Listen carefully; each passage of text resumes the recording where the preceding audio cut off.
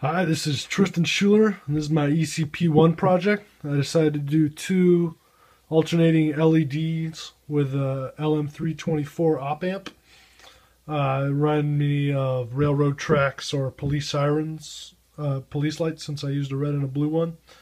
Now, unfortunately, I connected the wrong end of the terminal to the battery, and I just fried my op amp. I tried flipping it around, rewiring, and the whole thing is fried and this is the the second one I've broken, so I'm out of I'm out of this version of the op amp. But I promise you, it was working a few seconds ago, and I can prove that to you later. I'll leave the circuit all built and set up.